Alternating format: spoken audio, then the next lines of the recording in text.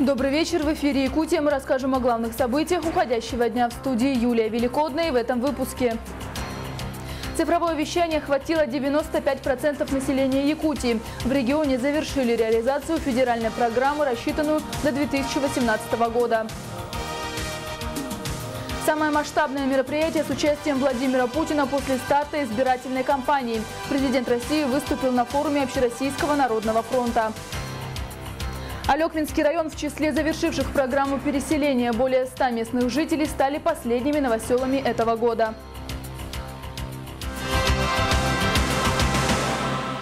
Президент России Владимир Путин выступил на форуме действия Общероссийского народного фронта «Россия, устремленная в будущее». В своем выступлении президент говорил о важности сохранить то, что неимоверными усилиями создавалось в последнее время и о задачах на ближайшие годы, в том числе по созданию новых точек для роста и развития всех российских регионов. Отстаивать, что нам только с вами не предрекали в начале 2000-х годов. Это и развал страны, государственный коллапс, это и вымирание нации, это неспособность ответить на вызовы, с которыми мы столкнулись в борьбе с международным терроризмом, невозможность решить многие социальные проблемы, выйти из экономических проблем. И действительно, ситуация была очень сложной, а порой даже критической. Но мы не только сохранили целостность и суверенитет России – не только успешно прошли трудный путь обновления, но и совершили настоящие прорывы по важнейшим направлениям развития. Шагнули далеко вперед и в экономике, и в социальной сфере, и в обеспечении обороноспособности страны. Создали мощную базу, резервы, современный потенциал для дальнейшего уверенного движения вперед. Путин подчеркнул, что Россия сама достигла всего этого и главное благодаря усилиям ее жителей. При этом президент признает, что предстоит сделать еще многое и формулирует главные задачи на ближайшую перспективу. Я вижу в этом и нашу общую... Нам еще очень многое предстоит сделать, прежде всего ради благополучия граждан, ради того, чтобы преодолеть бедность и неравенство. А уровень этих проблем еще, к сожалению, пока очень высок. Мы должны достойно ответить на судьбоносные исторические вызовы. Какие? Это сбережение и приумножение нашего народа. Это создание новой экономики, развитие Арктики, Дальнего Востока, Сибири, до всех регионов нашей огромной страны. Наконец, это вызов будущего, настоящего переворота в медицинских технологиях, в самих технологиях как таковых, в широком смысле этого слова, в образовании. Все эти задачи на годы вперед. И нам нельзя оступиться, сбиться с выбранного курса. Иначе вновь придется все начинать практически с нуля. Я внес такое предложение чтобы э, упроси, упростили передачу федеральных земель э, муниципалитетам, которые в этом нуждаются под ИЖС. И еще Народный фронт вносит предложение, чтобы разрешить на землях сельхозпоселений строить жили, жилье, то есть индивидуальное жилье, но без права продажи земельных участков. Вот этот вопрос, который я поднял, он волнует нас в Якутске особенно население. Почему? Потому что у нас вокруг земель, земель сейчас не хватает, а на очереди стоит 45 тысяч очередников.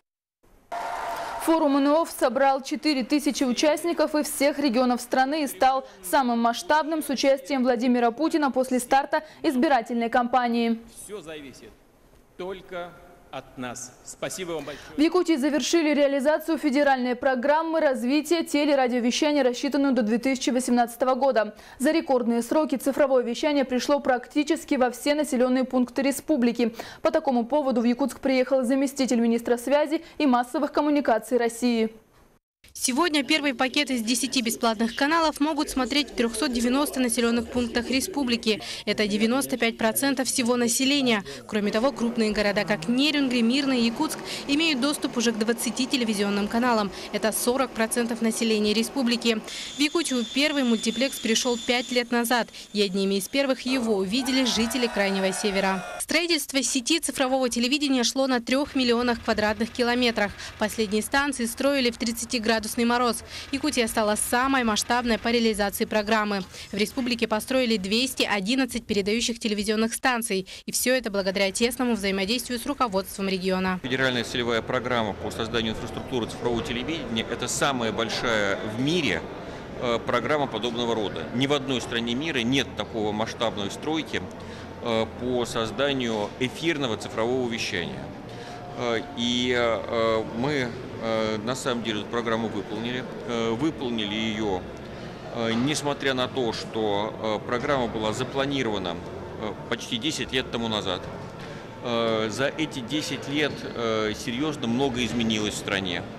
Э, изменились цены, условия, э, курс рубля. Пока в бесплатный пакет входят только федеральные каналы, но в будущем в республике планируют запустить и свое региональное цифровое вещание. Технически республика готова выдавать уже несколько каналов. Для этого мы сегодня в республике э, в первом квартале этого года запускаем в эфир информационный канал Саха-24, который будет вещать на русском языке все 24 часа. Э, следующий шаг – это организация уже якутскоязычного канала, э, круглосуточного канала. Э, и мы бы хотели, чтобы в пакет региональный вошли еще и как образовательный канал, возможно. Да? У нас очень любят спортивный и, конечно, детский. Дорогие друзья! Давайте поздравим нашу республику. Официальный запуск цифрового теле- и радиовещания состоялся. И это не только качественная картинка, а новый уровень качества жизни. Якутия стала еще одним регионом страны, которая полностью перешла на цифру. Но на этом еще не все. С 2019 года пакет бесплатных каналов для всех жителей республики должен расшириться до 20 единиц. Марьяна Кутукова, Саргалана Захарова, Владимир Павлов, Василий Слепцов, Петр Шестаков, НВК Саха, Якутск. Оценочно на реконструкцию всех аэропортов республики необходимо 60 миллиардов рублей. Об этом нашей компании сообщил первый зампред правительства Якутии Алексей Колодезников. При этом на реконструкцию тех аэропортов, которые уже имеют проекты и прошли госэкспертизу, необходимо более 26 миллиардов рублей. В республике есть воздушные ворота, которые еще не прошли экспертизу и не имеют проектов. Тем временем вышло постановление правительства России, в котором дано поручение обеспечить выделение дополнительных средств федерального бюджета на реконструкцию 15 аэропортов Якутии. Реконструкция аэропортов Дальнего Востока начиная с 2019 года. А, соответственно, мы сейчас отрабатываем а, с федеральными органами власти. А, очень хороший протокол вышел, касающийся субсидирования социально значимых направлений, субсидирования авиаперевоза по Дальнему Востоку. Дано отдельное поручение по сокращению и минимизации требований по малым аэропортам. Это позволит снизить э, расходы по реконструкции аэропортов э, в отдаленных населенных пунктах. Одним из самых спорных моментов пленарного заседания Госсобрания стало внесение поправок в бюджет республики. На последней в этом году сессии народные депутаты рассмотрели 44 вопроса. И бюджет не единственное, что вызвало наибольшее обсуждение интерес. С подробностями Ниргуяна Иванова. Одним из самых спорных моментов сессии стало внесение поправок в государственный бюджет республики на 2018 и на плановый период 2019 и 2020 годов. Народные депутаты Якутии внесли поправку в законопроект о трехлетнем бюджете Якутии, который предлагается выделить 139 миллионов бюджетных гарантий на приобретение трех самолетов для малой авиации. Поправка внесена, но возник другой вопрос. Где взять эти средства бюджетных гарантий?